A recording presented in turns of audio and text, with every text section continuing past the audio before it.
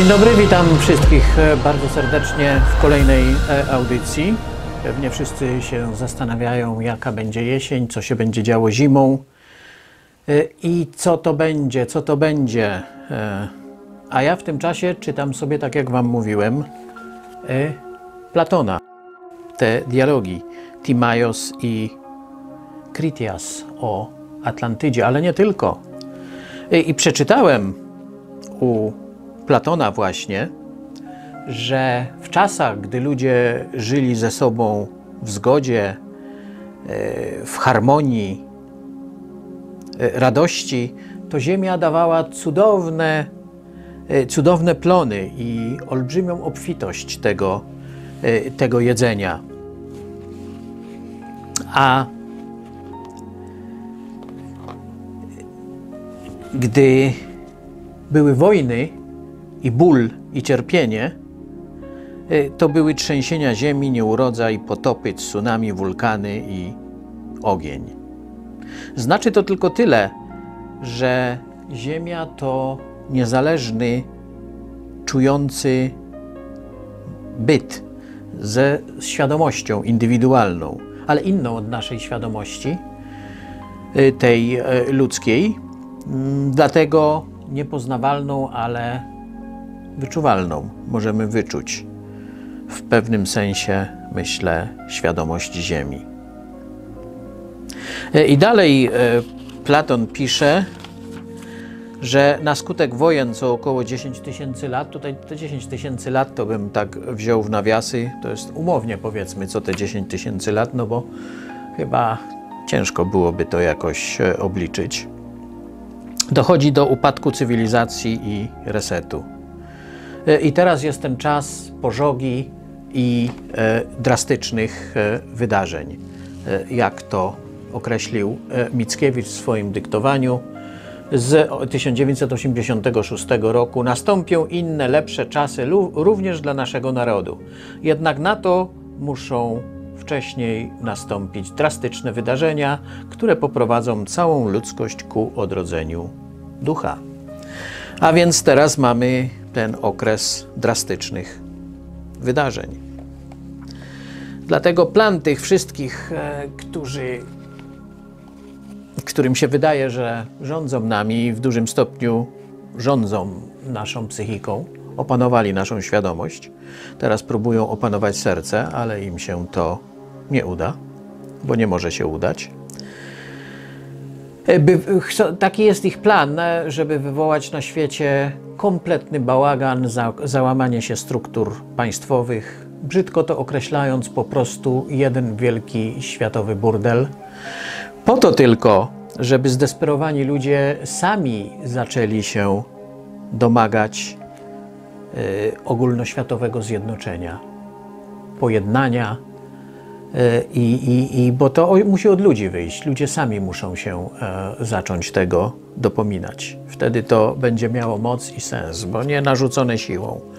E, to zdają sobie sprawę, wiedzą doskonale, że to ma krótkie nogi i to wcześniej czy później by upadło. A jak ludzie sami zaczną się tego domagać, co im się narzuci, E, bo to na, to na tym polega, żeby nam delikatnie narzucać, e, co mamy e, wybrać. My musimy mieć to poczucie wolności wyboru, dlatego zostawia się nam zawsze takie uliczki, ale kontroluje się oczywiście to wszystko, bo człowiek musi być przeświadczony, że ma wolność wyboru, wtedy, wtedy dobrze funkcjonuje.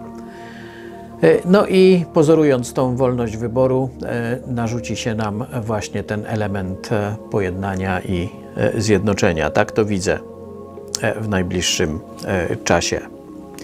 Co jeszcze mogę dodać, że czytając Platona, dochodzę do wniosku, że apokalipsa świętego Jana została zerżnięta z Platona i dokumenty na to bo to nie tylko Platon, ale inne rzeczy jeszcze były w Bibliotece Aleksandryjskiej, którą chrześcijanie splądrowali. Już dokładnie nie pamiętam kiedy, także nie będę podawał e, daty. Możecie to sprawdzić. Była też e, plądrowana przez e, chrześcijan, gdzie te zbiory zostały wywiezione, a dzisiaj się znajdują pod Biblioteką Watykańską. Podobno jest jakaś druga biblioteka w tych, w tych lochach i tam są pochowane te papirusy, a nawet na ludzkiej skórze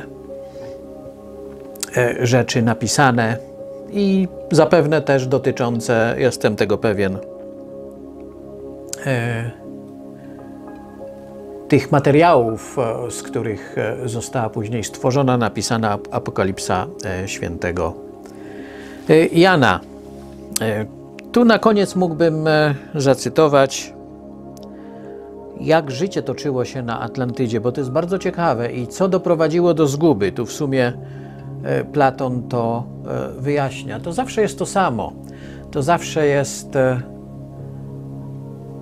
nadmierny egoizm, skierowanie się ku cielesności, ku uciechom cielesnym, zapominanie o duchowości, to co się teraz dzieje, prawda? Kieruje się tą naszą świadomość na cielesność, na technologię, żebyśmy się podniecali smartfonami, komórkami, na tym siedzieli, w tym widzieli e, przyszłość, zapominając zupełnie o duchowości. I co tutaj nasz Platon, e, który żyje w tej chwili jako bardzo znany aktor, była audycja o tym.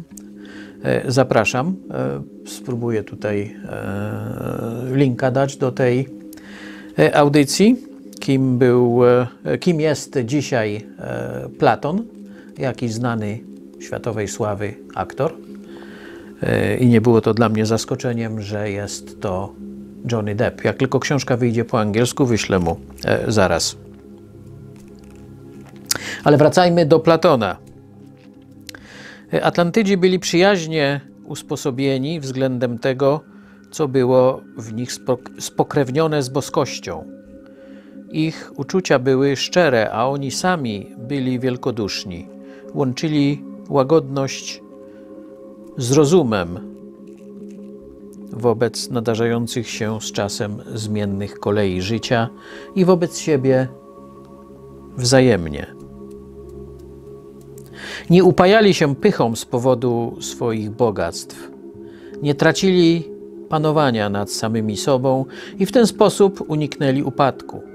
Zdawali sobie jasno sprawę z tego, że wszystkie te dobra powiększają się tylko w łączności z cnotą i że przeciwnie, przesadna gorliwość o nie i cześć, jaką się żywi dla nich, prowadzi niechybnie do ich utraty a z nimi ginie również sama cnota.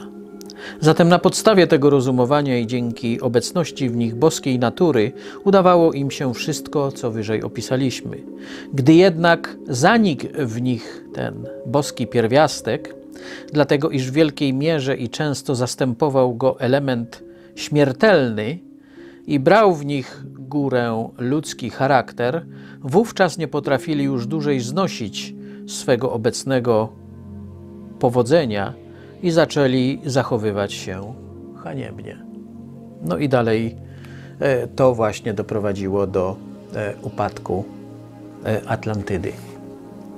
Także widzicie, jak się żyło zgodnie z naturą, w radości, w szczęściu, harmonii, to i Ziemia się cieszyła i wydawała fantastyczne, cudowne plony. A gdy zaczęły się e, niesnaski, egoizm, e, skupienie się tylko i wyłącznie na swojej cielesności, na swoim ego, no to mamy bałagan. A jeszcze to jest wzmacniane e, różnymi rzeczami, które się teraz globalnie dzieją. Dlatego jedyna rada, kto ma swój własny ogródek, i w przenośni i dosłownie niech go uprawia, niech się nim cieszy, niech mówi do roślin, e, podlewa je zioła, a drzewka, krzewy, a wydadzą piękne e, i zdrowe owoce. I nie przejmuje się za bardzo tym, co będzie, tym, co nadchodzi, tym, co nieuniknione. Dziękuję wszystkim za uwagę. E, za jakiś czas znowu e, zrobię audycję, co tam jeszcze ciekawego wyczytałem e, w tych dialogach Platona, Timaios i Kritias, bo teraz rzeczywiście to czytanie jest dla mnie niezwykłą przyjemnością. Tak jak dla Was powinno być nadal przyjemnością czytanie dyktowań ludzi w duchu, bo dzięki temu otwiera się, tak jak u mnie się już dawno otworzył, gdy byłem świadkiem i później czytałem te e, wszystkie dyktowania. Na razie e, opublikowałem 9 tomów, 10 w przygotowaniu. E, Otwiera się zupełnie jak zasłonięty przed nami za tą ciemną kotarą, otwiera się duchowość, ten świat ducha. Jak on funkcjonuje, jak wygląda, jak wygląda życie po śmierci, co się dzieje, dlaczego jest tak, jak jest, E, a przede wszystkim o tej wielkiej boskiej miłości, w której zawarta jest konsekwencja. Co zasiejesz, to zbierzesz. To muszą wszyscy zrozumieć, żeby nie doszło znowu do strasznej tragedii, tak jak co te przysłowiowe 10 tysięcy lat, a żeby przyszło, przyszło zrozumienie i przebudzenie, że jeżeli komuś jest ciężko, jeżeli ktoś jest kaleką, jeżeli komuś dziecko umarło na rękach, jeżeli ktoś e, bliscy nam zginęli w wypadku, to oni nie zginęli przypadkiem. Nie ma przypadków. Zawsze pod tą pozorną niesprawiedliwością ziemską jest ta wielka Boża sprawiedliwość. Co zasiejesz, to zbierzesz. Ta boska miłość, którą jesteśmy, ta energia, jest jednocześnie przyczynowo-skutkowa. Ona jest jakby taką formą, takim oceanem e, nieuformowanej e, gęstości ta nasza rzeczywistość. I ta nieuformowana gęstość tego oceanu rzeczywistości, my ją formu formujemy, urabiamy swoim postępowaniem, swoim myśleniem e, i swoim zachowaniem. I, odpowiada nam oczywiście tym samym. Z reguły nie w tym samym życiu, a w kolejnych życiach. Ale zawsze odpowiada nam tym samym. Dlatego warto być dobrym człowiekiem, tak jak wierzę, e, wy wszyscy jesteście. Dziękuję jeszcze raz za uwagę. Zapraszam do subskrybowania, polecania audycji znajomym. E, A na zakończenie piję sobie mieszankę. Gęsta, gęsta jak nasza rzeczywistość. A co tutaj jest, gdyby ktoś chciał być ciekawy, gdyby ktoś e, był zaciekawiony, to w blenderze zrobiłem jagody, marchewka, e, kurkuma, imbir, e, trochę jabłka, trochę gruszki, e, trochę e, e, oleju lnianego z tego zimnego wyciskania, e, jeszcze askorbinian sodu, trochę taurynianu, magnezu, parę innych jeszcze tam drobiazgów e, i wasze zdrowie pije tym gęstym eliksirem, jak nasza rzeczywistość ziemska jest gęsta. Do usłyszenia już wkrótce. Do miłego.